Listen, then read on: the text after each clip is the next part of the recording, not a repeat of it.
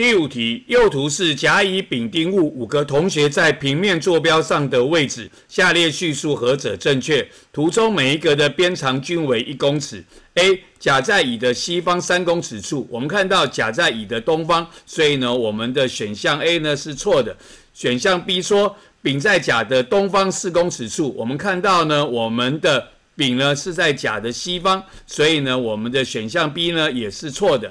选项 C 说由乙位置、丙位置、乙位置再到甲位置。此运动过程中的位移为向东三公尺。我们晓得位移就是位置的移动，我们只管开始跟结束。我们从乙位置跑到甲位置，所以呢，我们就向东移动了三格三公尺。所以选项 C 说我们的位移为三向东三公尺是对的。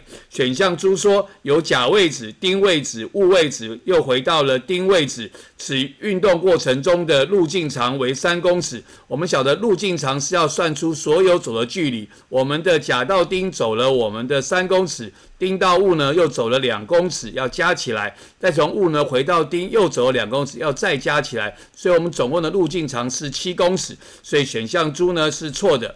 第五题问我们说，下列叙述何者正确？我们答案选的是 C，由乙位置到丙位置到乙位置，再回到甲位置，此运动过程中的位移为向东三公尺。